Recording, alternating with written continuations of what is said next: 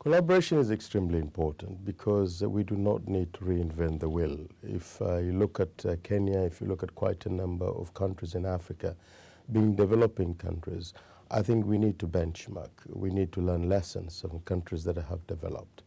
Uh, we do not need to reinvent the wheel in the sense that if people have uh, failed in certain areas, I think we do not need to repeat that path.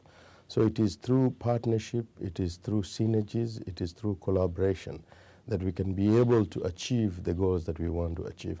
I think it's all about looking at the strengths and weaknesses of, of an individual institution, individual country, and be able to partner and be able to build capacity, you know, and, and be able to sort of address the challenges of the society.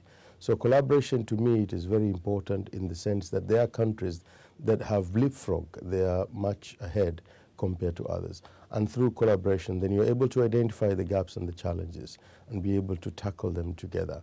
Uh, collaboration also it is very important because you can build capacity. I give an example of Kenya uh, where at the moment, not just Kenya, let's take an example of sub-Saharan Africa. It is contributing about uh, uh, 1 2% of the global knowledge. Now, through collaboration, we can be able to enhance that because then we can be able to have players and working together in collaboration. So for us, collaboration really is uh, very key. Collaboration at the national level where you have the public, the private sector, collaboration at international level where you have bilateral, multilateral partnership, and that way you can be able to address challenges of that particular country.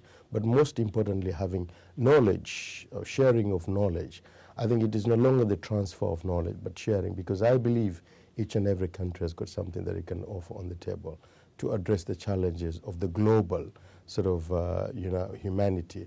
And most importantly, this collaboration should be able to address the challenges of society as we move forward.